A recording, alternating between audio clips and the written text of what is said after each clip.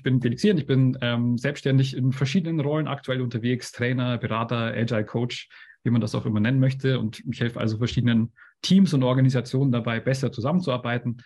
Ähm, am meisten Spaß machen wir, machen wir Themen, wo es darum geht, datengestützte Ansätze für Transformation und Führung zu verwenden. Also mit so einem Handwerkszeug aus Organisationspsychologie, Data Science, Systemtheorie schaue ich quasi auf verschiedene Probleme in Organisationen.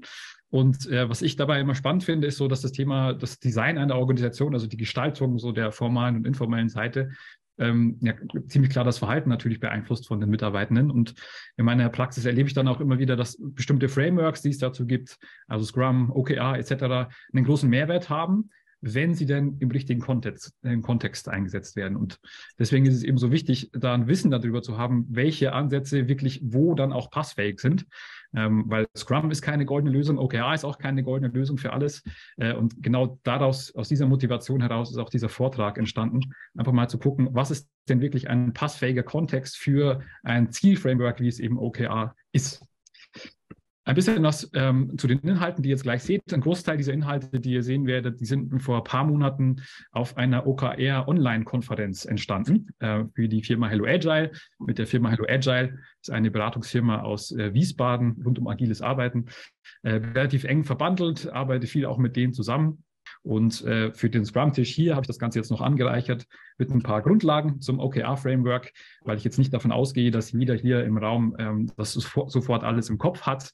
Ähm, es soll aber jetzt kein Grundlagen-Workshop zum Thema OKR sein. Das findet ihr an anderer Stelle in viel besserer Form auf YouTube, in Trainings etc. Trotzdem ähm, werde ich einmal die Basis schaffen, damit wir das gleiche Vokabular haben und darauf baue ich dann eben auf für die folgenden Inhalte. Der Fahrplan für heute sieht folgendermaßen aus. Ähm, es gibt so vier Bestandteile. Äh, der erste Bestandteil ist gleich mal äh, ein Bestandteil, wo ich das Unmögliche versuche möglich zu machen. Ich versuche einmal OKR kurz und bündig äh, zusammenzufassen. Also OKR in a nutshell. Äh, danach schauen wir so auf das Thema ähm, ja, Zielsetzung an sich. Also wie kann Zielsetzung eigentlich funktionieren? Was sagt die psychologische Forschung zum Thema Zielsetzung und was steckt da in OKR eigentlich drin? Äh, dabei werde ich auch ein bisschen wissenschaftliche Grundlagen erklären, erläutern äh, und damit man eben versteht, wo so meine Hypothesen so herkommen. Ähm, dann geht es weiter in Teil Nummer drei. Das ist für mich ein sehr spannender Teil, ähm, die dunkle Seite von Zielsetzung. Also was passiert eigentlich, wenn Ziele dazu führen, dass wir Verhalten erzeugen, was wir eigentlich gar nicht erzeugen wollen in Organisationen. Sehr, sehr spannend, äh, sich das mal anzugucken. Und in Teil Nummer vier versuche ich sehr, sehr stark dann diese Learnings auf ähm, die OKR-Praxis sozusagen herzustellen. Also was bedeutet das, was ich jetzt so erzählen werde, tatsächlich, wenn man jetzt mit Zielen umgeht in Organisationen. Aber es sind einige interessante Erkenntnisse für Personen, die OKR schon anwenden. Es ist aber auch natürlich für Personen, die jetzt äh, gar kein OKR in der Organisation anwenden, äh, relevant, weil Zielsetzung findet natürlich in vielen anderen äh, Kontexten auch statt, ob es jetzt persönlich ist oder in Teams etc. Vielleicht kann ich das mal so vorab abfragen. Vielleicht schreibt ihr mal ein kurzes Ja in den Chat, wenn ihr bei euch in der Organisation tatsächlich OKR verwendet. Wenn nicht, einfach nichts, dann sehe ich so ein bisschen die Verhältnisse. Okay, ein paar Jahreskommentare rein an verschiedenen Stellen. Noch nicht. Okay, ich will es gerade einführen. Genau, das sehe ich auch immer wieder, dass ähm, Leute das wahnsinnig spannend finden, damit Wissen rumexperimentieren. Ähm, vielleicht hilft euch das auch schon mal dann für diese konkrete Einführung, die ihr dann da vor der Brust kommt. Sehr schön. Okay, cool. Ähm, dann versuchen wir, dass wir da heute ähm, das, den Blickwinkel da vielleicht noch erweitern. Vielleicht erzähle ich euch Dinge, die tatsächlich neu sind. Das würde mich natürlich freuen. Äh, und dann in der Anschlussdiskussion können wir natürlich für eure Praxisfälle auch nochmal in die Tiefe gehen, wenn wir dazu Zeit haben. Also, dann steigen wir ein mit ähm, Punkt Nummer eins, OKR in a nutshell. Was ist das eigentlich? Ich werde jetzt einmal versuchen, ich glaube, auf genau sieben Folien sind es, äh, das ganze Framework OKR zu erklären. Äh, wie gesagt, das wird jetzt nicht in die Tiefe gehen können, aber wir sollen eben ein gemeinsames Vokabular haben. Deswegen einmal vorab, was meine ich eigentlich, wenn ich von OKR spreche? Zunächst mal, der Begriff OKR oder die Abkürzung OKR steht natürlich für eine, ein längeres Wort, nämlich Objectives und Key Results. Das ist diese Abkürzung. Objectives könnte man auf Deutsch als eine Art Ziel und die Key Results sind dann ja ein Hebel oder ein Weg dahin, wie dieses Ziel eben ja, erreicht werden kann. Und OKR insgesamt ist dann eben ein agiles Ziele-Framework, ähm, was mit transparenten und fokussierten Zielen dabei helfen soll, sich in eine gemeinsame Richtung zu bewegen und diese Richtung auch zu ändern. Also, dieser agile Gedanke drin, ne? also dass man eben nicht einmal ein Ziel formuliert, ein Jahresziel und das dann äh, am Ende erst wieder anguckt, sondern dass man tatsächlich regelmäßig in Quartalsabständen zum Beispiel guckt, sind wir denn in die richtige Richtung gelaufen oder nicht. Und es funktioniert eben auch etwas anders als gängige ja, Ziele-Frameworks wie Management by Objectives etc. dadurch, dass Ziele sehr, sehr transparent sind und fokussiert sind. Ähm, nicht wie es eben bei anderen Ziel-Frameworks ist, wo einmal oben ein Ziel definiert wird, dann gibt es eine Kaskade und jedes Team muss sich überlegen, wie kann ich dieses Ziel erreichen etc. Also OKR als agiles Ziele-Framework. Jetzt schauen wir uns diese beiden Bestandteile einmal nochmal genau an. Also was ist ein Objective genau? Im Grunde beantwortet ein Objective eine relativ einfache Frage, nämlich diese Frage, wo will ich in drei Monaten stehen? Ich spreche da auch gerne immer davon, dass das eine Art von Mini-Vision ist. Ne? Also, dass ich quasi mir überlege, was ist der Zustand, den ich in drei Monaten sehen möchte. Und damit wird daraus eben das Ziel, das Objective. Und ähm, dann kommen noch die Key Results dazu. Zu jedem Objective gibt es entsprechende Key Results. Diese Key Results beantworten eine andere Frage, nämlich wie erreiche ich denn dieses Objective? Das heißt, diese Key Results sind ja bestimmte Hebel äh, oder Treiber, die jederzeit messbar sein sollen und die eben dazu führen sollen, dass die Wahrscheinlichkeit höher wird, dass ich mein Objective eben auch erreiche. Darin steckt jetzt schon ein bisschen mehr Theorie in Anführungszeichen. Ne? Dieses jederzeit messbar bedeutet, dass ich theoretisch zu jedem Zeitpunkt eben anhand von bestimmten Maßzahlen sehen kann, bin ich denn auf dem richtigen Weg oder nicht. Und das ist ein ganz wichtiger Unterschied zu ja, klassischen KPIs, würde ich jetzt mal sagen, zu klassischen Maßzahlen, die man so kennt. Vielleicht kennt ihr auch diese Unterscheidung zwischen sogenannten Lagging Measures und Leading Measures. Ein klassisches KPI, ne, also sowas wie ein Umsatz, ähm, Anzahl der Kündigungen im letzten Quartal etc., das sind sogenannte Lagging Measures, Measures. Also es gibt einen Lag zwischen dem Zeitpunkt jetzt und diesem Zeitpunkt, wo ich diese KPI sehe und dann sehe, was passiert ist. Das ist natürlich ja, eine ungünstige Situation, weil ich kann eben rückwärtsgewandt nichts mehr verändern. Und da gibt es das Gegenbeispiel, das sind die sogenannten äh, Leading Measures, also Maßzahlen, wo ich zum aktuellen Zeitpunkt sehe, wo stehe ich gerade und ist es wahrscheinlich, dass ich mein Ziel erreiche. Und ein Key Result laut der OKR-Philosophie sollte eher ein Leading Measure sein, also kein klassisches KPI, sondern etwas, was ich aktuell jetzt beeinflussen kann, äh, um dann eben ja, mich in Richtung äh, des Ziels zu bewegen. So ein Beispiel aus dem, aus dem privaten Bereich könnte sein, naja, äh, ein Lagging Measure wäre der Gewichtsverlust am Ende einer bestimmten Periode. Na, ich möchte 10 Kilo abnehmen. Ob ich das geschafft habe oder nicht, weiß ich erst am Ende. Was ich aber zum aktuellen Zeitpunkt weiß, was ich ja aktuell beeinflussen kann, ist zum Beispiel die Anzahl äh, der, ähm, der Male, wie oft ich zum Sport gehe. Ne? Also wenn ich dreimal die Woche jetzt Sport mache, könnte ich mir jetzt überlegen, zum Sport zu gehen. Und das wäre dann das Leading Measure und das Lagging Measure wäre sozusagen der Gewichtsverlust am Ende. Also eine wichtige Unterscheidung. Key Results sind keine klassischen KPIs. Und aus diesen beiden Sätzen, ne, also einem OKR, einem Objective und verschiedenen Key Results dazu, entsteht ein sogenanntes OKR-Set. Also ein Objective hat, es gilt als übergreifendes Ziel und darunter gehören dann eben bestimmte Key Results dazu, die dann gemeinsam definiert werden. Ich habe mich hier mal ähm, bei der Hanna bedient. Die Hanna ist Agile Coach bei Hello Agile, die immer gerne so ein, so ein Beispiel verwendet, wo ich äh, davon überzeugt bin, dass das äh, relativ eindringlich ist, was damit, äh, was dann ein OKR-Set eigentlich auf sich hat. Äh, und zwar hat die sich vorgenommen, vor, ich glaube, ein paar Jahren sogar, äh, den Frankfurt-Marathon äh, mitzulaufen. Das entsprechende Objective, das man dazu formulieren könnte, ist das folgende. Ich habe den Frankfurt-Marathon erfolgreich beendet. Also genau das, was ich vorhin gesagt habe, ein Zielzustand in drei Monaten, eine Art Mini-Vision. Ja, ich möchte eben diesen Marathon erfolgreich beendet haben. Und dazu kann man jetzt verschiedene Key Results formulieren.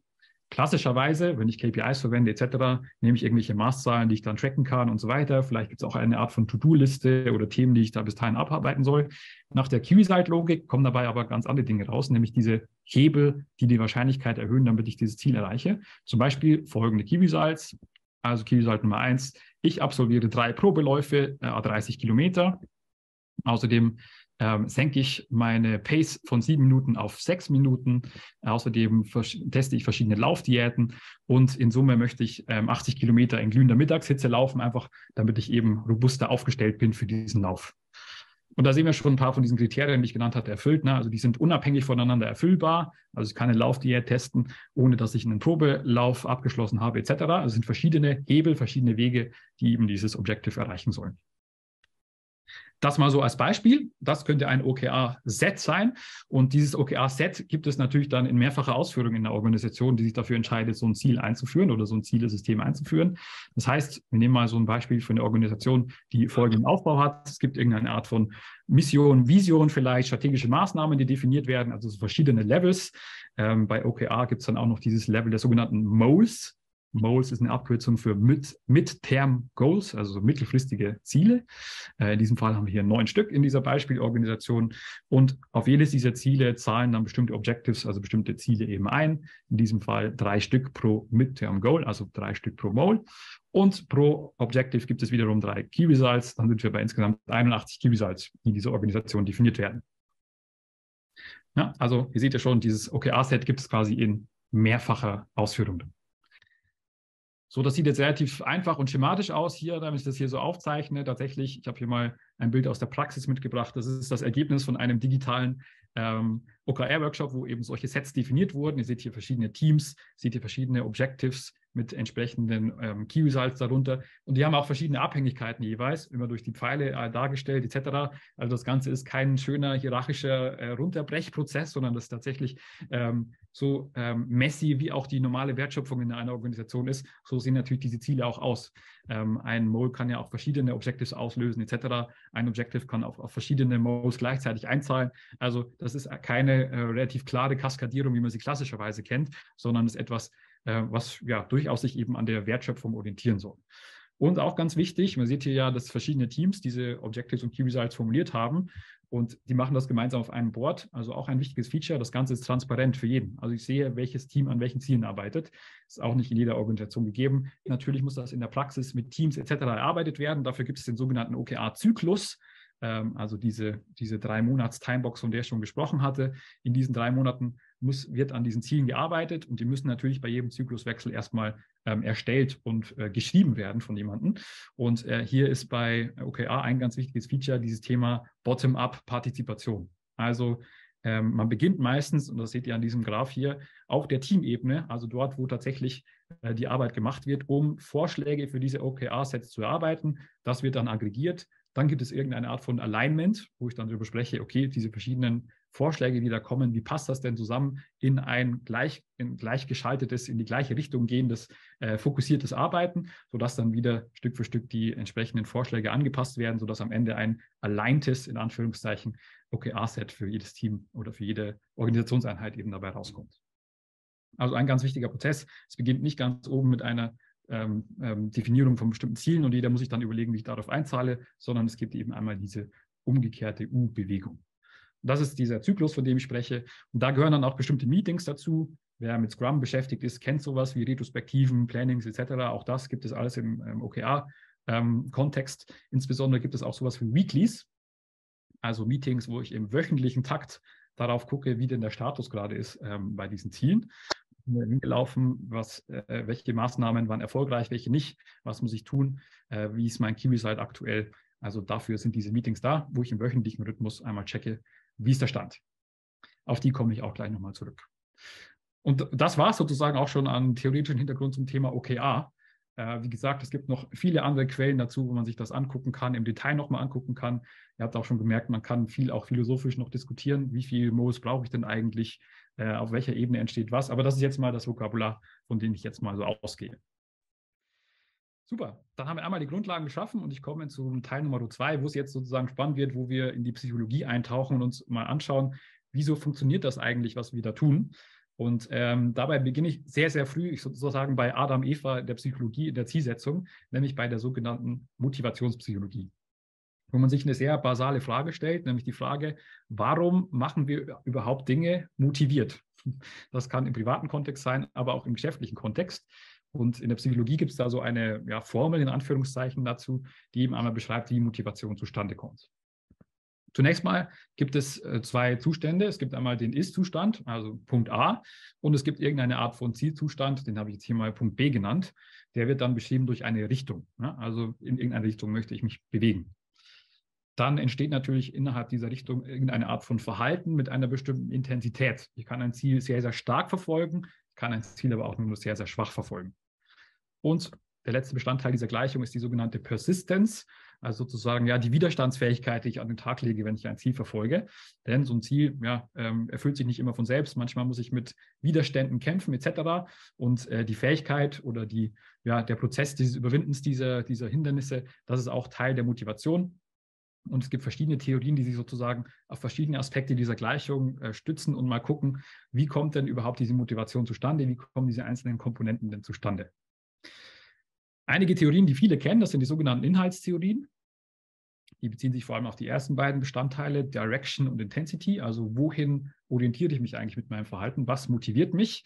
Viele kennen vielleicht die Bedürfnispyramide von Maslow, also wo verschiedene Stufen definiert werden, so die, die basalen Bedürfnisse, die eher physiologisch sind, na, ich möchte Sicherheit etc., dann die psychologischen Bedürfnisse, na, ich möchte zugehörig sein und dann gibt es noch die so Selbsterfüllungsbedürfnisse, Transzendenz, Ästhetik etc., das passt alles da rein. Die Maslow-Pyramide wäre eigentlich eine klassische Inhaltstheorie. Aber gibt es noch viele andere, also die Need Theory von McClellan zum Beispiel, wo es darum geht, na, ich möchte, ja, habe ein Machtmotiv zum Beispiel, relativ neu ist die sogenannte Self-Determination Theory, wo man davon ausgeht, es gibt eigentlich drei Motive, einmal Kompetenz, Zugehörigkeit und Autonomie und auch so eher popularwissenschaftlichere Ansätze. Vielleicht kennt ihr Daniel Pink, äh, Drive, das Buch, äh, wo er sagt, ähm, eigentlich wollen wir Autonomie, Mastery und Purpose. Das sind so die drei Dinge, die wir so anstreben. Das wären klassische Inhaltstheorien. Daran orientieren wir unsere Motivation, daran orientieren wir unser Verhalten. Also da geht es um die Inhalte dessen, wohin wir uns also bewegen sollen. Es gibt aber auch sogenannte Prozesstheorien, Prozesstheorien, die also eher versuchen zu erklären, äh, wie kommt das eigentlich, dass wir tatsächlich dann dieses Verhalten an den Tag legen und dieses Verhalten auch längerfristig an den Tag legen. Na, also da kommt dieser Faktor Persistenz vor allem ins, ins Spiel. Auch hier kennt ihr sicher einige Theorien, äh, so, die man so immer mal wieder verwendet. Die klassische Konditionierung zum Beispiel, na, der Pavlovsche Hund versucht ja zu erklären, warum ich ein Verhalten immer wieder zeige, weil ich zum Beispiel eine bestimmte äh, Belohnung erwarte oder auch sowas wie Gerechtigkeitstheorien, äh, Erwartungstheorien etc. und unter anderem die sogenannte Goal Setting Theory, also die Zielsetzungstheorie, um die es ja heute gehen soll, ist eine so eine Prozesstheorie.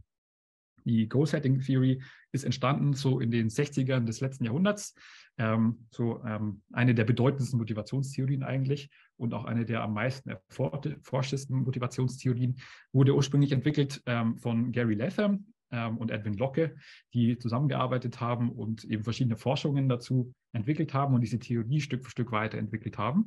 Und tatsächlich ist das eine der einflussreichsten Theorien, denn mehr als 400 Laborstudien wurden tatsächlich zu dieser Theorie gemacht, die immer wieder bestätigen, was so die Hypothesen in dieser Theorie sind. Und das ist tatsächlich relativ erstaunlich, ähm, dass eine Theorie eben ja so oft wieder äh, bestätigt werden kann und äh, ja, viele der Hauptaussagen eben über viele Jahrzehnte bestehen bleiben, ohne dass sich äh, diese Grundannahmen ändern. Also die Zielsetzungstheorie, eine sehr, sehr wichtige Theorie und auch hier gebe ich euch einen kurzen Abriss, was die eigentlich bedeutet. Auch das ist wieder eine ja, fast unmögliche Aufgabe. Ich versuche es trotzdem, denn das soll uns durch den Rest des Vortrags noch so begleiten. Vielleicht kennt ihr auch schon einige Aussagen aus dieser Zielsetzungstheorie, weil die findet man auch wieder in vielen ähm, Ratgebern etc., vielen anderen Zielsystemen und so weiter. Ähm, hier mal die wichtigsten Punkte. Zunächst mal geht die Zielsetzungstheorie davon aus, dass äh, Ziele zwei Charakteristiken erfüllen müssen. Ähm, Ziele sollten herausfordernd sein. Warum sollten Ziele herausfordernd sein? Naja, ähm, wenn ein Ziel eine Herausforderung darstellt, dann erhöhen wir unsere Anstrengungen und damit auch unser Durchhaltevermögen, ja, also Stichwort Persistenz, und ist damit auch eine Antwort auf den dritten Teil dieser Motivationsgleichung, ähm, die ich vorhin gezeigt habe. Menschen, Menschen sind dann also eher bereit, auch mal alternative Wege auszuprobieren, über einen längeren Zeitraum dran zu bleiben, etc. Ähm, das ist dieser äh, Faktor der herausfordernden Ziele. Und zum Zweiten sollten Ziele spezifisch sein. Also sollten wirklich ja, relevante Aspekte fokussieren, äh, relevante Verhaltensweisen fokussieren, weil unser Gehirn liebt einfach konkrete Ziele. Also da wird vor allem hier vorne im äh, sogenannten medialen präfrontalen Kortex Aktivität gezeigt. Das ist so der Bereich, der ist so für ja, planerisches Handeln eigentlich zuständig. Ähm, und ähm, ja, unser Gehirn liebt das und steuert unsere Aufmerksamkeit auch dementsprechend. Das sogenannte Reticular Activation System heißt das, das RAS, ähm, filtert dann nämlich gezielt Reize aus, die eben für unser Verhalten relevant sind und Reize, die eben nicht relevant sind. Ähm, dass das die ganze Zeit am Werk ist, spüren wir eigentlich auch tagtäglich wenn ihr zum Beispiel ein neues Auto kaufen wollt oder ein neues Handy kaufen wollt oder so, ist vielleicht euch auch schon aufgefallen, dass man sehr oft dann auf einmal eine bestimmte Art von Auto wahrnimmt oder eine bestimmte Handyreklame oder sowas. Oder auch auf einer Party, wo sehr viele Leute sprechen und eigentlich sehr, sehr laut ist, ist man trotzdem in der Lage, sich auf den Gegenüber äh, zu fokussieren und zu hören, was diese Person spricht. Ähm, also das zeigt sehr, sehr stark, dass unser Gehirn fähig ist, eben Reize auszufiltern und sich auf Reize zu fokussieren. Äh, und das hilft eben, ähm, wenn ein Ziel dann spezifisch ist, weil dann kann dieses System noch besser aktiv sein. Also zusammengefasst, ein gutes Ziel soll herausfordernd sein und spezifisch äh, sein. Ähm, das findet man auch immer wieder in solchen Faustregeln. Vielleicht kennt ihr sowas wie smarte Ziele zum Beispiel. Da hört man immer wieder, ein smartes Ziel soll bestimmte ähm, ja, Anforderungen erfüllen. Jeder dieser Buchstaben steht für einen bestimmten ähm, ja, Faktor, den ein Ziel erfüllen sollte. S zum Beispiel steht für spezifisch, steckt quasi eins zu eins da drin. A steht dann für ambitioniert. Ne? Also da steckt diese Kernidee der ähm, Goal-Setting Theory auch in diesen smarten Zielen drin. Und äh, diese beiden Forscher haben dann ausgehend von diesen Hauptaussagen bestimmte Prinzipien abgeleitet, die eben ein gutes Ziel ausmachen. Und das wird sozusagen die Guideline auch für unsere nächsten, für unsere nächsten Folien, die wir uns angucken und dann den Bezug zu OKR eben herzustellen. Zunächst mal Task Complexity, also äh, wo es darum geht, wie schwierig oder wie einfach sollten Ziele sein, damit sie eben äh, gut funktionieren. Äh, Feedback, also kriegen wir Rückmeldungen über den aktuellen Stand, ja oder nein. Clarity, wie klar ist das Ziel beschrieben. Challenge, wie fordernd ist das Ziel und auch Commitment, also fühle ich mich diesem äh, Ziel irgendwie verpflichtet und äh, mich daran ja, gebunden auf irgendeine Art und Weise. Und diese Prinzipien schauen wir uns jetzt mal an. Wir starten rein mit dem Punkt Task Complexity. Ähm, und hier sieht man relativ gut, ne? also wenn ich mir ein Ziel setze, äh, steigt natürlich die Leistung. Das haben diese über 400 Studien schon bewiesen. Jetzt ist aber natürlich die Frage, wie sieht das aus, wenn eine Aufgabe schwieriger oder einfacher ist? Ist Zielsetzung besser oder weniger gut, wenn ich ein komplexes Ziel habe? Und hier gibt es ein, für mich war das zumindest ein überraschendes Ergebnis, dass tatsächlich ähm, Ziele mit einer äh, niedrigen Komplexität ähm, viel stärker von diesem Zielsetzungseffekt profitieren als Ziele mit einer hohen Komplexität. Also eine Zielsetzung hat generell einen positiven Effekt auf die Leistung. Allerdings unterscheidet sich die Effektivität je nach Komplexität der Aufgaben. Also die Steigung ist höher, wenn es eine niedrige Komplexität gibt ähm, ist bei einfachen Aufgaben fast doppelt so groß ähm, wie bei komplexen Fragestellungen. Und das sollte man im Hinterkopf behalten. Vielleicht kennt ihr auch sowas wie die Stacy-Matrix oder das, die Kinevian-Matrix oder so, wo es ja immer darum geht zu sagen, hey, Scrum, OKR etc., das sind alles Frameworks, die vor allem im Komplexen relevant sind. Und das ist natürlich hier eine wichtige Frage. Also müssen wir Ziele eigentlich formulieren, wenn ähm, ja, der Zielraum so komplex ist, dass wir ihn eigentlich gar nicht überschauen können. Also hier spannendes Ergebnis ähm, die Task Complexity hängt mit der Leistung zusammen und ähm, einfachere Aufgaben ähm, profitieren viel, viel stärker von diesem Zielsetzungseffekt.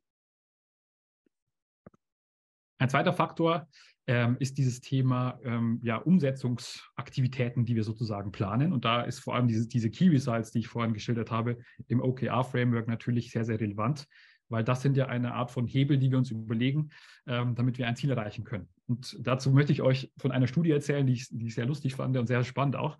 Ähm, hat mit diesem Bild zu tun, was ihr hier seht. Die Studie war wie folgt aufgebaut. Ähm, das, die generelle Aufgabe für die Teilnehmenden dieser Laborstudie war, sie sollten einen Ball in einem Loch versenken. Und ähm, dieses, die Teilnehmenden wurden in zwei Gruppen geteilt. Die eine Gruppe sollte sehr, sehr gut über diese Aufgabe nachdenken und sich Wege überlegen, wie sie diese Aufgabe denn bewerkstelligen wollen, also wie sie da rangehen. Die haben dann sogenannte Implementation Intentions ähm, ausgebildet. Also haben sich überlegt, was ist meine Strategie sozusagen? Was sind meine Schritte, um das Ganze zu machen? Die andere Gruppe, die hatten keine Instruktionen, die konnten relativ frei an diese Aufgabe rangehen. So, beide Gruppen haben diese Aufgabe gemacht, haben diesen Ball also im Loch versenkt und außerdem sollten diese Gruppen dann auch jeweils noch einschätzen, wie groß ist denn die Distanz von deinem Standpunkt zu diesem Loch. Eine einfache Schätzaufgabe und dann wurde das gemittelt über diese beiden Gruppen. Was äh, sehr, sehr spannend war, ist, dass die Gruppe, die keine Strategien entwickelt hat, schlechter performt hat als die, die natürlich Strategien entwickelt haben. Äh, ist erstmal nicht, ähm, ja, nicht erstaunlich. Ne? Also wenn ich darüber nachdenke, wie ich etwas mache, bin ich wahrscheinlich besser darin. Aber was eben spannend ist, ist, dass die Gruppe, die diese Aufgabe mit konkreten Schritten verbunden hat, also konkrete Implementation Intentions ausgebildet hat, dass die die durchschnittliche Distanz zu diesem Loch als kürzer eingeschätzt haben. Ja, würde man ja eigentlich erwarten, dass diese Einschätzung relativ unabhängig davon ist. Aber das heißt, wenn wir einen konkreten Weg formulieren zu einem Ziel, äh, wie dieses Ziel erreicht werden kann, dann erscheint die Aufgabe subjektiv einfacher und das erhöht dann auch wiederum die Wahrscheinlichkeit, äh, diese Aufgabe zu meistern. Das bedeutet, übersetzt auf das OKR-Framework, natürlich, wenn ich gute Key Results formuliere, äh, dann erscheint mir das äh, Ziel subjektiv erreichbarer und damit erhöht sich auch die Wahrscheinlichkeit der Zielerfüllung. Ein relativ überraschendes Ergebnis, wie ich finde. Also sehen wir hier, diese Logik, die in OKR eingebaut ist, ähm, nämlich das Ganze, die Komplexität runterzubrechen, äh, in mehreren Objectives, in mehreren Key Results zu denken, äh, hilft zum Thema Komplexität und äh, erhöht auch die Wahrscheinlichkeit, dass wir im Ziel erreichen, einfach weil wir sie als subjektiv erreichbarer einschätzen. Damit haben wir den Faktor Komplexität uns angeguckt, kommen wir zum Faktor Feedback. Ich hatte schon erzählt, es gibt äh, bestimmte Meetings innerhalb des OKR-Frameworks, nämlich zum Beispiel das Weekly, wo ich in einem wöchentlichen Rhythmus darauf gucke, wie ist denn gerade der Zielerreichungsstand. Und hier kann man sich jetzt die Frage stellen, ist, macht das denn laut der Forschung Sinn? Sollte ich mir denn eigentlich solche äh, Meetings aufbrummen oder nicht? Denn so ein Meeting ist im Zweifel ja sehr teuer, wenn das gesamte Team zusammenkommt, über mehrere Stunden, vielleicht Minuten hinweg über Ziele spricht. Lohnt sich das überhaupt? Und hier habe ich so einen Screenshot dabei von einer Studie. Das ist eine sogenannte Meta-Analyse. Wissen vielleicht viele, was das ist. Ich erkläre es trotzdem noch mal kurz. Das ist eine Art von zusammenfassender Studie, also eine Studie, die als Stichprobe wiederum andere Studien hat, um also zu sehen, äh, wie ist denn die generelle Tendenz der Forschung zu einer bestimmten Fragestellung. Und das führt dann dazu, dass man sehr, sehr große Stichproben hat. In diesem Fall äh, fast 20.000 Versuchsteilnehmende. Das ist für Laborstudien wahnsinnig groß. Äh, so eine Laborstudie, wenn man Glück hat, bewegt sie sich im dreistelligen Bereich. Hier haben wir jetzt fast 20.000 Teilnehmende. Und dann gibt es zu guter Letzt noch eine Art von Effektstärke, die dabei herauskristallisiert wird. Die Effektstärke soll einmal beziffern. Äh, hier anhand von Cohen's D nennt sich dieser Koeffizient, die eben einmal beschreibt, wie stark ist diese Tendenz äh, für einen bestimmten Effekt, der eben gefunden wurde. Und was in diesem Paper sich angeschaut wurde, ist äh, der Effekt von Monitoring, also quasi von der regelmäßigen Kontrolle der Zielerreichung auf die tatsächliche Performance. Also etwas, was sehr relevant ist, wenn wir darüber sprechen, ob wir Weeklies äh, machen sollten oder nicht. Und hier stellt sich heraus, also anhand von verschiedenen äh, großen Studien, dass äh, tatsächlich ein Monitoring eine effektive Selbstregulationsstrategie ist, weil ich eben regelmäßig weiß, wie stehe ich denn gerade und äh, eine häufigere Frequenz tatsächlich auch dazu führt, ähm, dass ein Verhalten sich effektiver verändert, als wenn ich eben weniger regelmäßig darauf gucke. Klingt auch erstmal relativ logisch. Hier sieht man es aber wirklich schwarz auf weiß mit sehr validen Daten aus einer Meta-Analyse einmal dargestellt. So eine regelmäßige Überprüfung, ein Monitoring von einem Zielzustand äh, kann helfen für die Zielerreichung. Ein zweiter Aspekt von diesen Weeklies und von diesem gesamten Prozess, den ich auch schon geschildert hatte, ist diese unternehmensweite Transparenz. Also ein Ziel ist eben nicht nur für ein, eine Person oder eine, ähm, ein Team ähm, formuliert, sondern eben für alle einsehbar. Und auch hier kann man sich die Frage stellen, hilft das denn oder nicht? Äh, und hier sehen wir so das theoretische Modell, das in psychologischen, statistischen Modellen dann einmal da getestet wird. Also es gibt einmal die Zielsetzung, das Goal-Setting und es gibt die Leistung, also die Performance. Und dann stellt sich die Frage, ähm, ist dieses öffentliche Setzen eines Ziels, also diese Transparenz, hier genannt Public Set Goal, hat das denn einen Einfluss auf diesen Zusammenhang? Und auch hier stellt sich raus, tatsächlich, es gibt einmal diesen Koeffizienten, der nennt sich Beta, das ist ein Regressionskoeffizient, der hat also einen Einfluss auf diesen Zusammenhang zwischen äh, Zielsetzung und Performance. Das heißt, der positive Effekt der Zielsetzung ist tatsächlich stärker bei Zielen, die wir öffentlich setzen.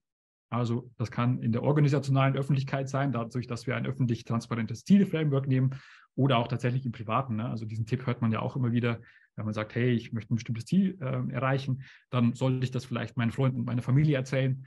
Die halten mich dann dafür äh, unter Rechenschaft und dann äh, steigt die Wahrscheinlichkeit, dass ich dieses Ziel vielleicht auch erfülle.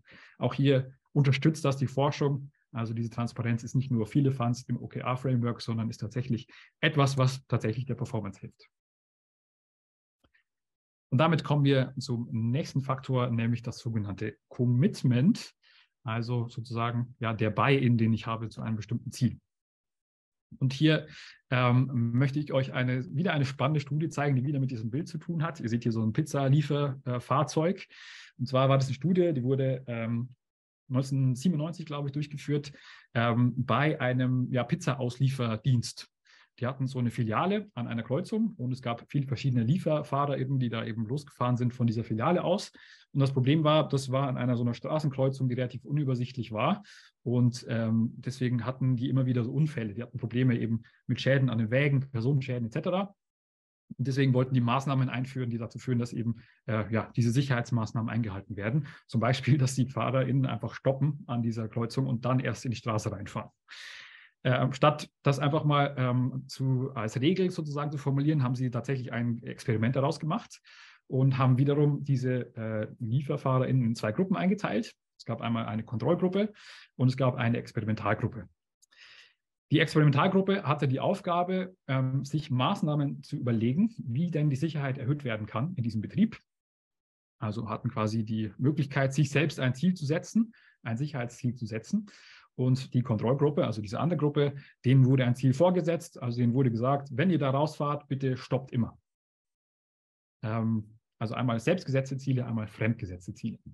Und jetzt hat man sich angeguckt, ähm, diese Ziele, die da einmal formuliert und gesetzt wurden, wie gut werden die denn eingehalten? Das heißt, es gab über Wochen dann eine Beobachtung an dieser Kreuzung, wo verschiedene Psychologiestudenten waren das dann wahrscheinlich immer wieder beobachtet haben, äh, sind denn die Autos zum Stehen gekommen, ja oder nein? Und das Überraschende war, tatsächlich sind beide Gruppen gleich gut äh, bei diesem äh, Implementieren dieser Sicherheitsmaßnahmen gewesen. Also es gab keinen Unterschied zwischen Experimentalgruppe und Kontrollgruppe. Ähm, die Raten der, der Fahrzeuge, die dann da gestoppt waren, waren bei beiden gleich. Aber was spannend war, die Gruppe, die sich das Ziel selbst setzen durfte, bei denen gab es eine sogenannte Response Generalization, also eine Generalisierung dieser Antwort.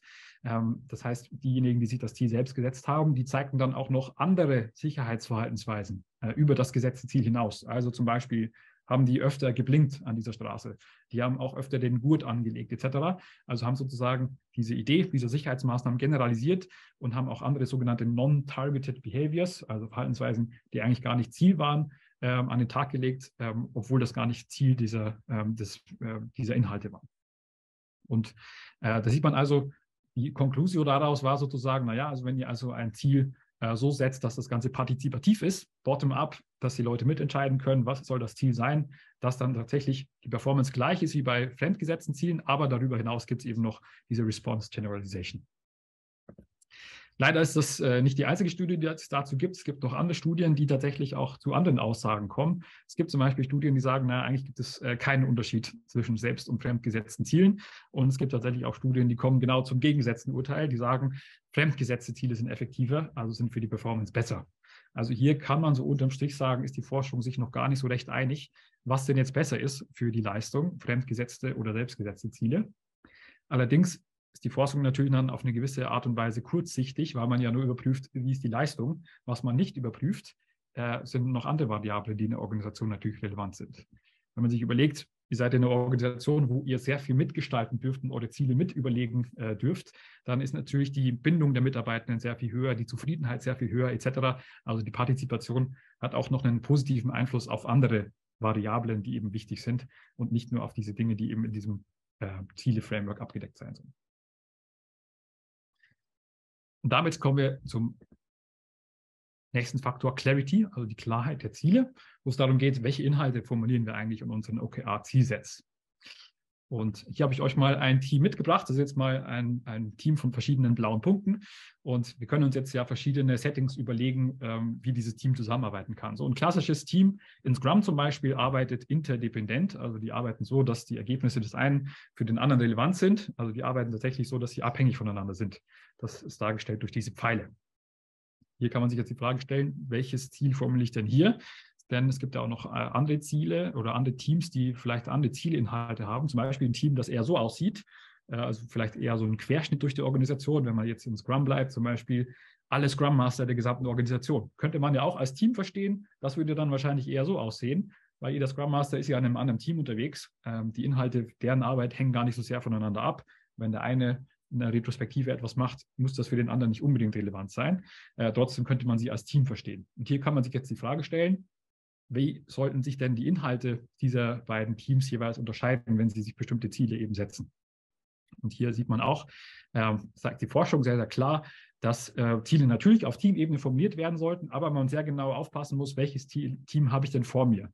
Habe ich ein Team vor mir, was sehr interdependent zusammenarbeitet, dann kann ich ein Ziel relativ einfach auf dieser Teamebene formulieren. Wenn ich allerdings ein Team vor mir habe, was so arbeitet, wie ihr es jetzt hier seht, also wir sind zwar laut Organigramm ein Team, sind aber eigentlich in verschiedenen Kontexten unterwegs. Ähm, muss ich natürlich individuelle Ziele setzen. Bei diesen individuellen Zielen muss aber darauf geachtet werden, dass sie immer so formuliert sind, dass sie ähm, ja, ähm, einen Beitrag zum Erfolg der Gruppe irgendwie herstellen. Also man spricht dann von sogenannten Group-Focus-Zielen und kein Egocentric-Zielen. Auch das muss man natürlich ähm, beachten, wenn man jetzt ein OKR-Set äh, definiert für diese Organisationseinheit, dann sollten die Ziele auch so formuliert sein, dass die tatsächlich sich immer jeweils auf die gesamte Gruppe beziehen und nicht auf den Einzelnen. Also ein wichtiger äh, ja, Leit, Leitgedanke sozusagen bei, bei der Formulierung. Ein zweiter wichtiger Leitgedanke ist das, was ich vorhin angeschnitten hatte bei diesem Thema KPIs, Lagging versus äh, Leading Indicators. Und auch hier gibt es sozusagen eine Übersetzung in der relativ schnöden Forschungssprache dazu. Hat man wieder so dieses, diesen Pfeil aufgezeichnet. Das ist wieder ein Ziel. Ne? Also es gibt einen Zustand A und es gibt einen Zustand B. Ich möchte von der einen Seite zur anderen Seite kommen. Und jetzt kann ich natürlich mein Ziel so formulieren, dass ich einmal diesen Zielzustand beschreibe. In der Forschung würde man das ein sogenanntes Performance Goal nennen, also ein Ziel, das auf eine bestimmte Leistung, auf ein bestimmtes Endergebnis abzielt. Also zum Beispiel, ähm, alle Abteilungsleiter haben unsere neue Strategieunterlage erhalten. Jetzt mal so als relativ schnelles Beispiel. Ja, also beschreibt einen Zielzustand, der am Ende erfüllt sein soll, ein sogenanntes Performance Goal. Das wäre das, was ich vorhin als sogenannter Lagging Indicator beschrieben habe. Das kann ich natürlich erst abprüfen am Ende kann ich erst gucken, okay, alle Abteilungsleiter, hat die die Strategieunterlage, check, check, check, check, check. Falls ja, ist das Ziel erreicht, falls nein, eben nein. Das Gegenstück dazu wären die sogenannten Leading Indicators. Und in der Forschungssprache würde man das als sogenanntes Learning Goal bezeichnen, also ein Ziel, ähm, das eher darauf fokussiert ist, den Prozess an sich zu beschreiben. Äh, wie könnte das aussehen in unserem Beispiel? Wir haben die Strategieunterlage in drei bedarfsgerechten Darstellungsformen vermittelt. Ja, ne? also das kann ich im jetzigen Moment überprüfen, kann jetzt gucken, äh, an wie viele, äh, wie viele Varianten haben wir erstellt, wie viele bedarfsgerechte Darstellungsformen gibt es denn und haben wir die schon vermittelt, ja oder nein. Also eher etwas, was sich auf den Prozess an sich bezieht und gar nicht so sehr auf das Endergebnis. Und da sehen wir die Parallele zu dieser Philosophie, die in OKR drin steckt, eher Leading Measures zu verwenden statt Lagging Measures. Und die Forschung unterstützt das also, dass man sich eher auf diese Learning Goals oder eher auf diese Leading Measures fokussiert. Ähm, weil es eben eher darum geht, ja, im Komplexen zu navigieren, sogenannte Knowledge Acquisition zu betreiben, also zu gucken, äh, was können wir Neues entdecken. Und deswegen sollte man eher Learning Goals formulieren und deswegen sollten diese Inhalte sich eher auch darauf beziehen, weil dadurch steigt die Selbstwirksamkeit und damit die Effektivität von Zielen. Und damit haben wir einen weiteren Faktor von unserem OKR-Framework einmal unterschrieben und wir sehen, äh, die Forschung und die Praxis greifen natürlich irgendwie ineinander. Es gibt ein paar Stellen, äh, wo es nicht ganz so klar ist, aber im Großen und Ganzen, wenn ich jetzt mal so ein Fazit ziehen würde an dieser Stelle, äh, könnte man sagen, naja, ähm, OKR, was da so drinsteckt, macht erstmal Sinn, auch aus einer Forschungsperspektive heraus. Auch wenn in diesen Studien natürlich nicht OKR per se untersucht wurde, aber die Zielsetzungstheorie unterstützt zunächst mal wichtige Bestandteile, äh, diese vier Faktoren, die ich jetzt eben geschildert habe. Ein wichtiger Faktor fehlt aber noch und äh, der fällt aber ins nächste Kapitel rein, in das für mich spannendste äh, Kapitel, nämlich warum OKR nicht funktionieren kann. Also die dunkle Seite der Zielsetzung. Und hier gibt es spannenderweise in den letzten Jahren äh, viele neue Befunde dazu, die eben so diese, ja, diesen vergoldeten, diese vergoldete Sicht auf die Zielsetzung so ein bisschen trüben und tatsächlich ja, gewisse Einschränkungen auch mitgeben und eben ja, den Finger auch mal heben und sagen, naja, Zielsetzung macht vielleicht nicht in jedem Kontext total Sinn. Und das gucken wir uns jetzt mal. Hier nochmal zur Erinnerung, ähm, die wichtige Folie, die einmal beschrieben hat, wie die Zielsetzungstheorie zusammengesetzt ist, also die Kernaussage und die bestimmten Prinzipien dahinter. Äh, die Prinzipien Task, Complexity, Feedback, Clarity und Commitment haben wir schon abgehakt. Was noch fehlt, ist dieser Challenge-Faktor und äh, den möchte ich jetzt einmal durchleuchten. Und äh, basieren äh, durch diese Aussagen vor allem auf einem äh, Paper, das nennt sich Goals Gone Wild ähm, aus dem Jahr 2009. Sehr, sehr spannendes Paper. Ähm, kann man sich gerne mal durchlesen beim Rat, äh, bei einem Glas Rotwein, das eben beschreibt, was sind denn die systematischen Nebeneffekte, vielleicht unerwünschten Nebeneffekte äh, von Zielerreichung. Ähm, und das möchte ich euch einmal zeigen. Der erste äh, Faktor, den ich einmal gerne mit euch angucken möchte, ähm, ist dieses Thema Stretch Goals. Hatte ich vorhin noch gar nicht so erwähnt. Ähm, tatsächlich ist das aber so ein bisschen in diese OKR-Philosophie eingebaut. Ist ja ein amerikanisches Konzept, wo es darum geht, hey, wir setzen uns sehr herausfordernde Ziele. Ähm, ein sogenanntes Stretch Goal, also ein Ziel, wo ich mich wirklich strecken muss, um das zu erreichen, ein sehr, sehr hohes Ziel, weil die Idee bei OKR ist, naja, wenn ich 70 Prozent von so einem Stretch Goal erfüllt habe, dann ist das eigentlich schon zufriedenstellend, weil das eben so hoch gesteckt war, dass es trotzdem dann eine zufriedenstellende Leistung ist. Und was die Konsequenzen für so ein Stretch Goal sind, äh, beschreibt dieses Paper eigentlich ganz gut. Und drei Konsequenzen möchte ich einmal so ähm, hervorheben. Das erste ist das sogenannte erhöhte Risikoverhalten. Und ihr seht hier so ein Bild von einem Auto. Vielleicht erkennt es der eine oder andere, das ist äh, der Ford Pinto. Äh, und bei der Ford Pinto ähm, hat eine ganz spannende, eine ganz, ganz spannende Geschichte. Äh, Ähm, denn in dem Designprozess von diesem Auto, also als das entworfen wurde, äh, wurde es so konstruiert, dass der Benzintank ähm, relativ weit hinten im Auto verbaut war und der war so konstruiert, dass der bei einem Auffahrunfall relativ schnell beschädigt wurde und dadurch ja relativ schnell ähm, größere, größere Unfälle verursacht wurden. Und äh, das waren Mängel, die allerdings sehr, sehr früh auch schon in der Produktion bekannt waren, in diesem Designprozess auch schon bekannt waren. Aber man hat eben festgestellt, die Kosten für so eine Konstruktionsänderung wären sehr, sehr viel größer und wollte man eben nicht tragen. Was man stattdessen gemacht hat, ist, man geht ein bestimmtes Risiko ein, nämlich das Risiko, dass äh, es Todesfälle gibt und dass Gerichtsprozesse äh, die Folge sind. Und das hat man ganz bewusst in Kauf genommen äh, und das Auto trotzdem so mit diesen Designmängeln auf den Markt gebracht. Die Folge waren, dass es relativ nah an der Veröffentlichung dieses Modells über 60 Tote gab, aufgrund dieses Designfehlers 120 Schwerverletzte, was dann letztendlich dazu geführt hat, dass tatsächlich einige Gerichtsprozesse an Ford herangetreten sind und der Pinto letztendlich vom, vom Markt genommen werden musste. Da sieht man ganz gut, ne, dass so ein Ziel, äh, nämlich ich möchte ein Auto, das irgendwie kompetitiv ist, das mit anderen Herstellern her, äh, mit, mithalten kann, trotzdem aber relativ günstig ist, äh, dazu führt, dass ich Entscheidungen treffe, vielleicht im Management, vielleicht aber auch auf individueller Ebene, die dazu führen, dass man ein Risiko unterschätzt oder ein Risiko einfach ganz bewusst in Kauf nimmt. Und das ist was, je nachdem, in welcher Branche ihr arbeitet, was man eigentlich normalerweise eher vermeiden sollte, gerade in stark regulierten Branchen natürlich. Anderes Beispiel, äh, relativ klassisches Beispiel sind so diese kommerziellen Touren auf den Mount Everest zum Beispiel. Also wenn man nicht, wenn ich auf den Mount Everest gehen möchte, gibt es tatsächlich Anbieter, die einem dabei helfen und sagen, ja, ich kann einen bestimmten Bergführer äh, mir mieten für ein paar Tage und kann mit dem auf den Mount Everest. Und äh, da gibt es eine große Diskussion um diese Praktik, weil diese Bergführer natürlich sehr, sehr riskante Entscheidungen immer auch treffen für die Kunden, einfach nur damit die dieses Ziel erfüllt bekommen, dass sie nämlich auf den Gipfel kommen. Äh, und da gibt es auch schon mehrere Expo äh, Expeditionen, wo Leute tatsächlich gestorben sind, einfach aufgrund von diesem erhöhten Risikoverhalten, weil eben so hohe Ziele wie zum Beispiel auf den Mount Everest gehen, eben gesteckt werden. Also das ist ein wichtiger Faktor, den man beachten sollte. Der zweite wichtige Faktor ist das Thema Selbstwirksamkeit. Selbstwirksamkeit ist ein ganz wichtiges Konstrukt in der Psychologie. Das beschreibt sozusagen die, ja, den Glauben daran, dass ich eine bestimmte Aufgabe erfüllen kann. Und wenn ihr euch jetzt vorstellt, naja, ich bekomme nur noch Stretch Goals vorgelegt, also ich bekomme nur noch äh, Ziele vorgesetzt, die ich eigentlich nie erreichen kann, weil die so hoch gesteckt sind, naja, dann führt das längerfristig dazu, dass meine Selbstwirksamkeit sinkt, weil ich ein Ziel eigentlich niemals erreichen kann. Und damit kann ein Stretch Goal auf längere Sicht tatsächlich schädlich werden, ähm, weil ja ich, die Motivation und das Commitment etc. sinkt, weil ich eben weiß, naja, ich kann Ziel sowieso nie erreichen. Und das ist auch wiederum ein Faktor, den man beachten sollte und der oft dazu führt, dass man eben eine Mischung macht, dass man eben nicht nur Stretch Goals setzt, sondern auch mal einfachere Ziele. Und Faktor Nummer drei, hier seht ihr Wirecard. Ähm, Faktor Nummer drei beschreibt, dass es äh, tatsächlich Stretch Goals dazu führen kann, dass wir unethisches Verhalten an den Tag legen. Äh, am Beispiel Wirecard, Wirecard war das so, dass der äh, Chef Markus Braun hatte sehr, sehr hohe Ziele. Der wollte nämlich zum Beispiel die Deutsche Bank übernehmen. Äh, und dafür musste Wirecard äh, mehr wert sein als die Deutsche Bank selbst. Ähm, und das haben sie dann eben durch bestimmte äh, Prozesse versucht, auf dem Blatt sozusagen so hinzufilmieren, dass das eben so aussieht. 2018, ich muss kurz spicken, 2018 war die Deutsche Bank 14 Milliarden wert und ähm, Sie wollten eben Wirecard so aufblasen, dass das auf dem Papier mehr wert ist, nämlich 16 Milliarden Euro, damit sie das, äh, damit sie die Deutsche Bank dann übernehmen können. Ja, also auch das zeigt relativ stark, dass so ein hoch, hochgestecktes Ziel dazu führt, dass wir natürlich dazu äh, tendieren, auch unethisches Verhalten an den Tag zu legen. Und spannenderweise tatsächlich auch ähm, findet das statt, wenn äh, auch keine Incentives gegeben sind. Also selbst wenn das Ziel an sich ähm, keine Belohnung erstmal ähm, erzeugt, führt das trotzdem dazu, dass wir unnötiges Verhalten an den Tag legen. Und der tritt insbesondere dann auf, wenn wir so kurz davor sind, ein Ziel zu erreichen.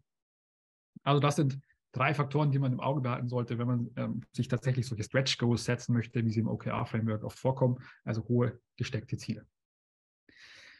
Da hört das Paper allerdings nicht auf. Das Paper holt dann sozusagen zum Generalumschlag aus und sagt ganz generell, dass Ziele auch an manchen Kontexten einfach gar nicht sinnvoll sind. Äh, und das zeige ich euch in den nächsten Folien. Der erste äh, Warnhinweis, äh, den Sie da beschreiben, ist der sogenannte Deckeneffekt. Äh, ihr seht hier so ein Taxi abgebildet. Ähm, und diese, ähm, dieses Phänomen, was da beschrieben wird, ist das folgende. Wenn ihr an einem regnerischen Tag in New York seid, dann ist es tatsächlich an diesem Tag schwerer, ein Taxi zu bekommen, wenn es regnet, Dafür gibt es eine relativ einfache Erklärung. Ne? Man könnte sagen, naja, das ist wahrscheinlich ein Problem der Nachfrage. Ähm, wenn es regnet, wollen mehr Leute mit dem Taxi fahren. Deswegen gibt es weniger Plätze. Tatsächlich stellt sich aber raus, und das zeigt die Forschung, dass es kein Problem der Nachfrage ist, sondern ein Problem des Angebots. Denn es gibt einfach weniger Taxis, die auf den Straßen unterwegs sind. Ähm, und das liegt daran, dass ähm, Taxifahrer in New York normalerweise ihr Auto selbst mieten und sich ein eigenes Ziel für sich selbst setzen. Die meisten wollen zum Beispiel die Automiete mal zwei pro Tag eben einnehmen. Und naja, an einem regnerischen Tag haben sie diese Miete eben schneller eingenommen, haben quasi schneller ihr selbst gestecktes Ziel erreicht und fahren dann nach Hause äh, am Nachmittag, machen sich einen schönen Tag äh, und hören eben auf zu arbeiten. Das wäre so nach ökonomischen Vorstellungen relativ unrational. Ne? Also wenn ich weiterarbeiten würde, würde ich noch mehr verdienen. Aber die Psychologie zeigt, sie setzen nicht eben einen, eigene, einen eigenen Deckel und hören dann eben auf zu arbeiten, obwohl sie eigentlich mehr verdienen könnten. Tatsächlich was, was in Deutschland auch so äh, vorliegt. Ich war vor kurzem in, in Berlin auf einem Workshop habe ein Uber-Auto gerufen. Ich hatte sehr viel Workshop-Material dabei und der Uber-Fahrer hat sich beschwert, warum ich für so eine kurze Fahrt denn jetzt Uber rufe, weil es ist für ihn einfach wahnsinnig ineffizient. Wenn er jetzt einen langen Weg zum Flughafen hätte oder so, das wäre für ihn eben besser. Äh, und dann haben wir ein bisschen darüber gesprochen und bei ihm war es auch ganz genauso. Er hat sich quasi pro Tag ein Limit gesetzt, was er verdienen möchte und sobald er das erreicht hat, hört er auf zu arbeiten. Und das Gleiche kann natürlich passieren mit Zielen in der Organisation. Äh, ihr setzt in einem Team ein bestimmtes Ziel und das Team arbeitet hart, bis das Ziel eben erreicht wurde. Und es kann aber sein, dass das Team dann entscheidet, naja, wir haben das Ziel erreicht, wir haben die Decke erreicht, wir hören eben auf mit unseren Anstrengungen, obwohl theoretisch noch mehr drin wäre. Auch das natürlich ein Mechanismus, den ich nicht möchte. Zweiter Effekt. Die sogenannte Untergrabung der intrinsischen Motivation. Auch hier, da könnte man wieder einen ganzen Scrum-Tisch damit füllen. Ähm, diese Unterscheidung zwischen Motivation, die von außen kommt, durch eine Belohnung, die extrinsische Motivation, und eine Motivation, die jeder von innen aus sich heraus eben selbst hat. Dazu muss man wissen, äh, ein Ziel zu erreichen an sich ist ein belohnender Zustand für ein Gehirn. Und deswegen äh, möchte ich das eben immer wieder tun. Ich möchte immer wieder ein Ziel erreichen und immer wieder genau das spüren. Und da gibt es schöne Studien, die eben zeigen, wenn ich für eine Aufgabe ständig belohnt werde äh, und wir dann irgendwann aufhören, diese Belohnung zu geben, dann höre ich auch auf, diese Aufgabe zu machen. Es gibt sehr schöne Studien, zum Beispiel mit Kindern, die man in einen Raum setzt. Wenn man mit denen nichts macht, dann versuchen die normalerweise irgendwann diesen Raum zu explodieren, versuchen an, äh, zum Beispiel, wenn da dort Malmaterialien liegen, dann fangen die an, Bilder zu malen, etc. Wenn man denen jetzt aber jedes Mal eine Belohnung dafür gibt, ein Bild zu malen und dann irgendwann aufhört, diese Belohnung äh, zu geben, dann hören sie auf zu malen, obwohl sie eigentlich von sich heraus intrinsisch motiviert wären. Und auch das kann natürlich passieren, wenn ich immer wieder Ziele setze, dass ich immer wieder extrinsisch belohne und sobald ich diese extrinsische Belohnung wegnehme, das Verhalten einfach verfällt. Auch das möchte ich in den meisten Fällen eben nicht. Und jetzt kommen wir zum dritten Faktor und da machen wir ein kleines Experiment. Ich habe ein kleines Video für euch. Äh, ich bin ja schon eine ganze Weile hier am Plappern, aber wir machen jetzt mal eine etwas interaktive Aufgabe. Und zwar im Folgenden habe ich ein Video dabei. Ähm, auf diesem Video seht ihr zwei Teams, zwei äh, Basketballteams. Die einen haben schwarze T-Shirts an, die anderen haben weiße T-Shirts an. Und eure Aufgabe ist einmal zu zählen, wie oft das weiße Team den Ball hin und her wirft. Also wie oft gibt es einen Ballwechsel im weißen Team. Wir schauen uns das einmal an ähm, und danach müsst ihr eure Antwort einmal in den Chat bitte reingeben. Für all diejenigen, die dieses Video schon kennen oder diesen Effekt schon kennen, bitte nicht verraten an die anderen. Äh, lasst den anderen den Spaß. Also bitte fokussiert euch auf die Aufgabe, zählen, wie oft gibt es einen Ballwechsel im weißen Team. the monkey business illusion.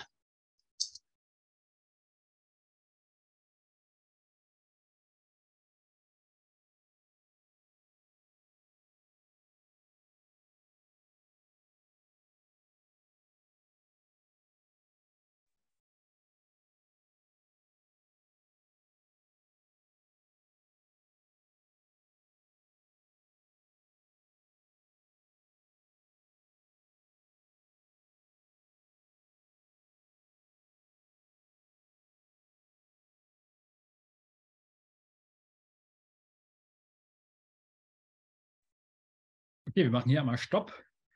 So, bitte einmal eure Antworten in den Chat eingeben. Wie oft habt ihr gesehen, wurde der Ball gewechselt? Guck mal rein. Also 12, 16, 16, 17, 16, 14, 16, 16, 17, 12, 15, 14. Okay. Also wenn ich jetzt mal so drüber mitteln würde über alles, was so genannt wurde, würde ich sagen, seid ihr so ungefähr Mittel bei so 14, 15 vielleicht. Tatsächlich ist die richtige Antwort, wird hier aufgelöst.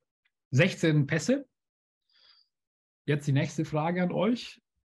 wer von euch hat einen Gorilla gesehen? Ich, yep, zwei Personen, drei, vier. Okay, ein paar von euch. Wer hat keinen Gorilla gesehen? Das ist eigentlich die spannendere Frage.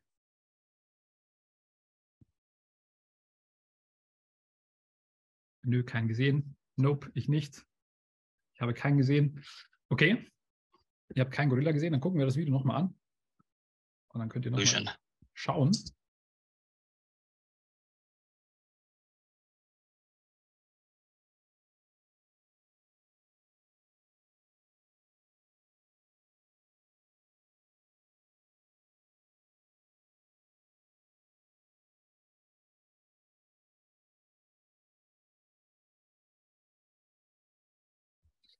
So, da ist er. Da steht ein großer schwarzer Gorilla in der Mitte. Kann man eigentlich nicht übersehen, ne? Trotzdem, wenn wir in den Chat schauen, sind einige dabei, die diesen Gorilla nicht gesehen haben. Und hier wird spannend. Ne? Also wir haben ein Ziel gesetzt bekommen. Wir müssen einmal die, den Anzahl, äh, die Anzahl der Pässe zählen. Und äh, wir fokussieren uns sehr stark auf diese Aufgabe und äh, lassen Dinge vollkommen außer Acht, die wir ähm, ja, normalerweise eigentlich sehen würden. Sowas wie ein Gorilla. Das Spannende ist, äh, manche kennen diesen Effekt schon, deswegen sehen Sie dann den Gorilla zum Beispiel. Dieses Video ist auch so gebaut, dass das auch funktioniert oder manchmal auch funktioniert für Personen, die schon wissen, dass ein Gorilla kommen wird. Äh, falls euch das nicht aufgefallen ist, ist euch zum Beispiel aufgefallen, ähm, dass der Vorhang seine Farbe verändert hat. Zu Beginn war er rot, später war er so ja, orange. Auch das fällt vielen nicht auf. Auch was vielen anderen nicht ausfällt, äh, zu Beginn sind es noch drei schwarze Spielerinnen und äh, irgendwann verlässt einfach eine Spielerin das Spielfeld, nämlich wenn dann der Gorilla kommt, müsste jetzt gleich kommen. So, und jetzt sind es plötzlich nur noch zwei. Also auch das sind Dinge, die man einfach vollkommen aus den Augen verliert, wenn man sich vollkommen darauf fokussiert, äh, wie oft diese weißen Spielerinnen diesen Ball wechseln. Also ein sehr, sehr äh, ja, eindrucksvoller Effekt eigentlich für dieses ähm, RAS-System, was ich vorhin äh, gezeigt hatte, ähm, ein Ziel verengt unseren Aufmerksamkeitsrahmen. Wenn wir ein Ziel gesetzt bekommen, ähm, sind wir dazu verleitet, andere Dinge vollkommen außer Acht zu lassen. Man spricht dann von der sogenannten Inattentional Blindness, also eine Blindheit, die wir gar nicht mit Absicht dann haben, weil wir uns einfach auf zielrelevante Dinge fokussieren und alle anderen Dinge außer Acht lassen. Und das wird vor allem dann relevant, wenn wir darüber sprechen, ob wir zum Beispiel sowas wie ein klassisches Tagesgeschäft in unseren OKRs abbilden wollen. Wenn ich tatsächlich in meinen OKRs das gesamte Tagesgeschäft Geschäft, ähm, abbilden möchte, dann bedeutet das, dass ich das gesamte Tagesgeschäft auch in den Zielen wiederfinden muss. Denn sobald ich ein Ding vergesse, wird das Ganze Gegenstand von dieser verengten Aufmerksamkeit. Sobald ich ein Ding in den Zielen vergesse, wird das auch nicht mehr bearbeitet, weil ich fokussiere mich natürlich nur auf die Ziele. Deswegen sagen viele, die äh, sich mit OKR beschäftigen, äh, man sollte OKR tatsächlich nur für einen bestimmten Bereich verwenden, nämlich dort, wo eben strategische Energie fließen soll und eben nicht für das gesamte Tagesgeschäft. Also diese Verengung der Aufmerksamkeit ein ganz, ganz wichtiger Effekt, äh, den man wissen sollte, wenn man mit Zielen arbeitet. Genau, das kommt auf jeden Fall daher, dass es dem, Ener äh, dem Gehirn Energie spart. Äh, Monique hat nochmal in den Chat geschrieben. Auf jeden Fall, äh, man, wenn man alle Reize immer gleichzeitig mit gleicher Relevanz wahrnehmen müsste, das wäre wahnsinnig überfordernd. Ja. Und die äh, Autoren dieser Studie kommen dann letztendlich zu dem Schluss, dass sie sagen, naja, all diese ähm, negativen Faktoren äh, führen dazu, dass man Ziele tatsächlich nur mit großer Vorsicht einsetzen sollte. Am Ende von diesem Paper findet man etwas, was in einem klassischen wissenschaftlichen Paper eigentlich sehr, sehr unüblich ist, nämlich so eine Art von Warnhinweis. Also die haben da so einen Warnhinweis platziert, der eben einmal beschreibt, ähm, ja, wenn ihr Ziele verwendet, dann könnt ihr theoretisch systemische, systematische ähm, Nebeneffekte erzeugen, die ihr vielleicht nicht möchtet. Ja, die schreiben hier äh, tatsächlich sowas wie ähm, Decreased Cooperation, Unethical Behavior, Inhibited Learning, Increased Risk-Taking etc. Also all diese Dinge, die wir eben schon genannt hatten, das sind alles negative Faktoren, die passieren können, wenn ihr tatsächlich Ziele verwendet in eurer Organisation.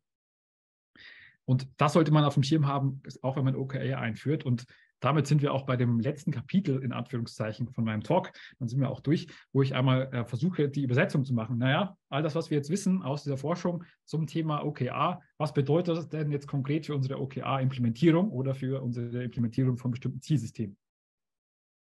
Und äh, dazu zeige ich euch ein äh, kleines Miro-Board, was ich einmal erstellt habe, äh, das dabei helfen soll, diese, diesen Gap zwischen Theorie und Praxis quasi einmal zu äh, über, überspringen.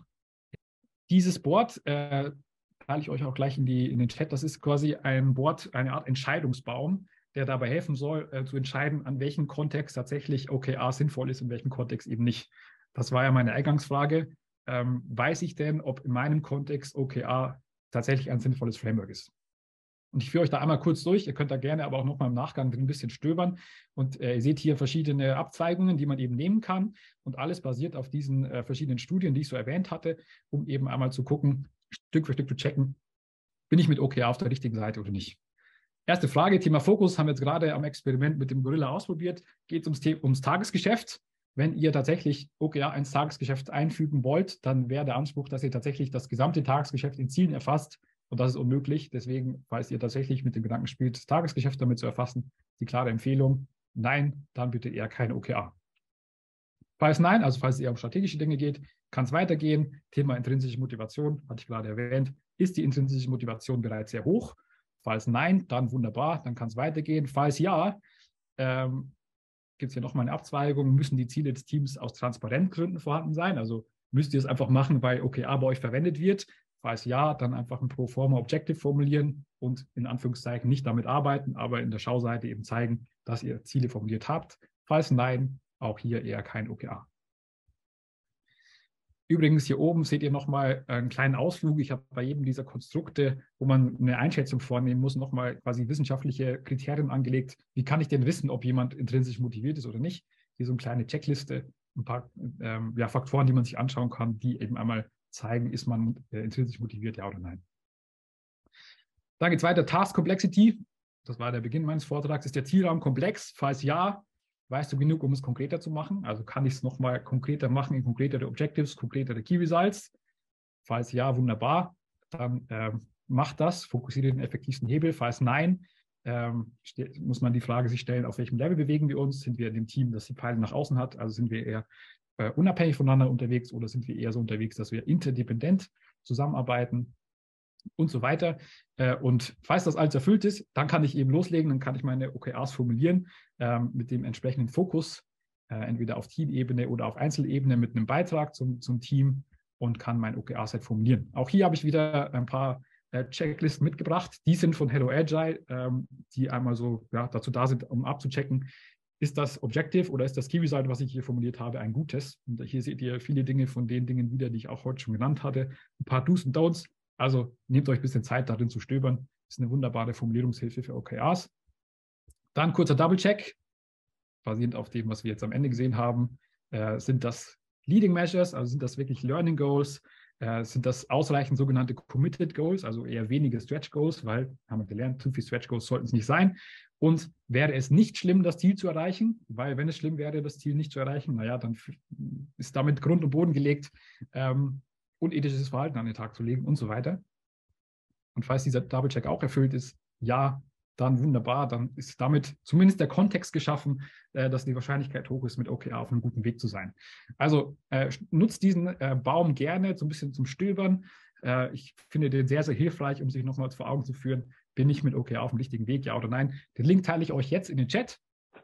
Äh, jetzt sind wir am Ende des Vortrags. Ihr dürft euch gerne mit mir vernetzen. Auf LinkedIn dürft mir gerne schreiben.